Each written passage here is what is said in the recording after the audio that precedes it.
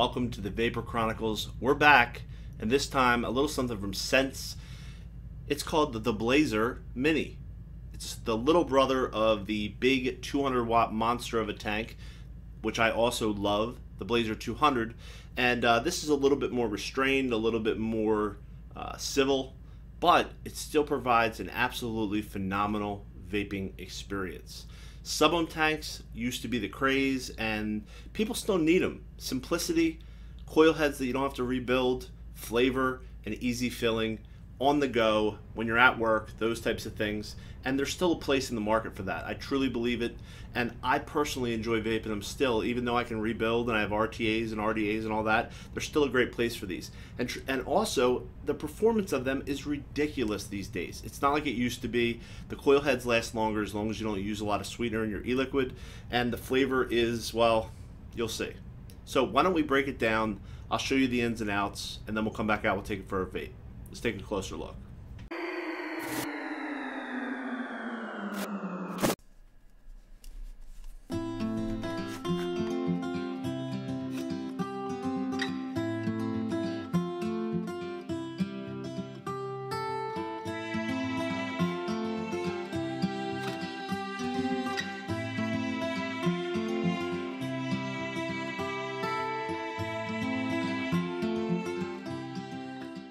There you go. That's what you get in your package. A little bit of the uh, spare glass section, some tank color change. You get the white, the red, the black. You get the uh, this little coil right here. Let's take a look at this. This is the 0.6 ohm coil head.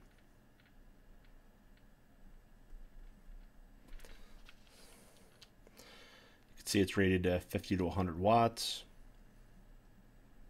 for the Blazer.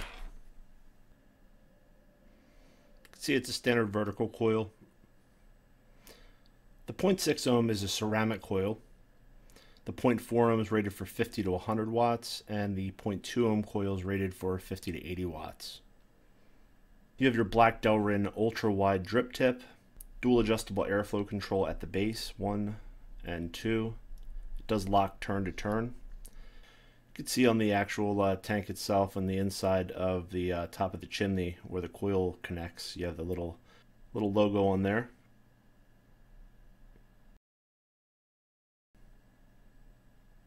Your wicking openings. Copper plate plated 510 connection.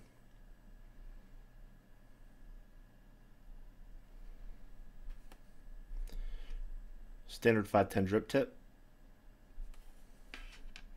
And to fill this device really cool, you can see the lock and unlock.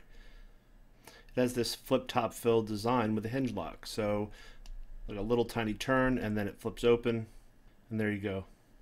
Nice big openings to fill your liquid. In the center is your chimney. You don't want to drip in there, obviously. And really, the system is pretty simple. I mean, it just has a little little plate right there that sort of locks over this little piece of metal right here. It is stainless steel construction. The tank holds a total of 3.6 milliliters of e-liquid. You can see it says Blazer on the, other, on the other side there, and it also says Sense. It's machined into the actual tank itself. There's your little hinge on the back side right here. And they do give you a replacement for that little gasket right there. So when you push this down, you want to put some pressure because it'll it sort of seals the air in the liquid seal and then give it a little turn and then it locks. No problem, not loose. And then you just unscrew and then open. Really, really cool. All right, so to change your coil, you grab the base, twist counterclockwise, and then just start spinning. And you'll see out comes your coil head. So this coil head, if we take a look at that, unscrew it counterclockwise. This is the 0.4 ohm coil. And you can see that's rated from 50 to 100 watts.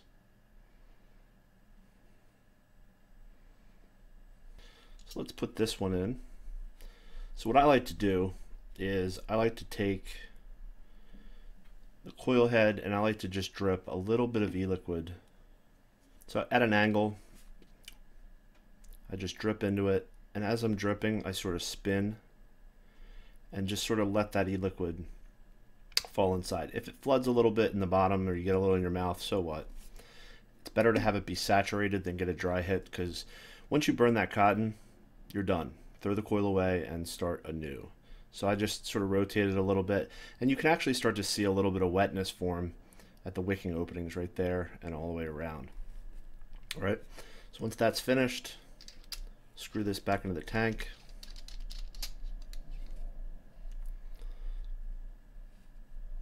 Little snug life and then uh, open up your top. You can put your drip tip on if you want. Just like so.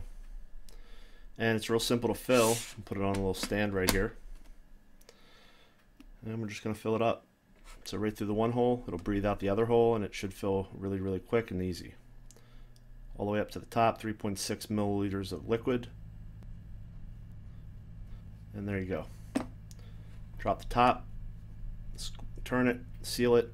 I like to close the airflow off completely. Uh, give it a couple primer pulls, which means with it out the power turned on in your mod or without it on the mod at all. Uh, you take this, uh, close off the airflow or have it really tight and take some pulls from this to sort of suck the liquid into the wicking. You'll see little bubbles form, uh, but I usually let it sit after I do that for a couple, like two minutes maybe, uh, especially if you put the liquid inside the coil to begin with and you should be ready to vape. All right. So we'll pop this on this mod. This is the new Yihi.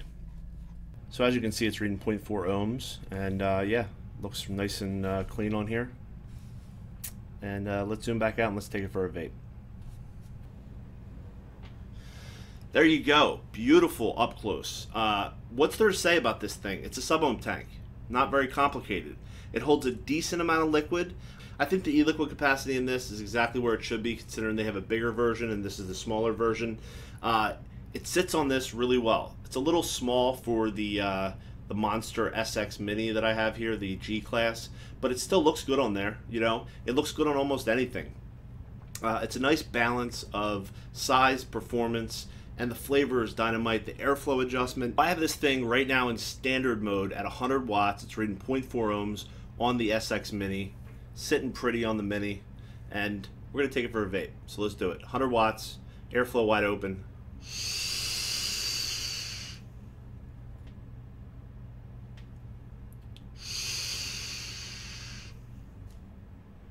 Now, you don't have to suck it like you're earning money, but it really handles the, the airflow really, really well. Bubbles are popping, airflow's popping. We have flouds. Flavor's dynamite. Really, really good.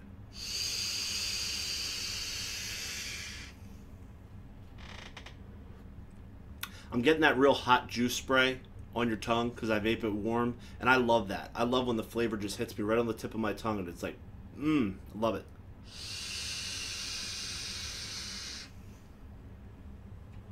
Super cloudy. Uh, if you decide that you want to tighten up the airflow control and say go down to almost closed to get that tighter draw, it gets that whooshing sound that you're pretty much used to by now for doing that.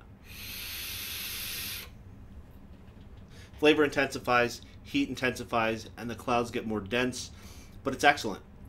Not for you mouth to lung, lung vapors out there. This is not for you. It's too wide, too too open, and it's not going to satisfy you in, in that respect.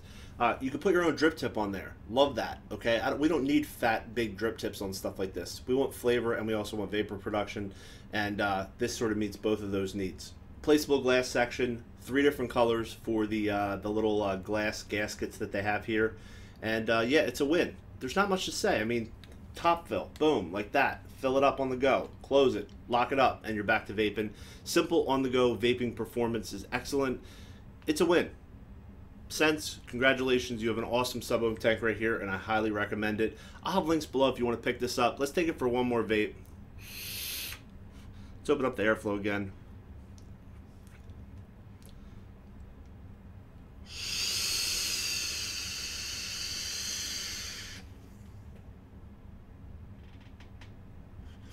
Long sustained draws, no dry hits, no leaking.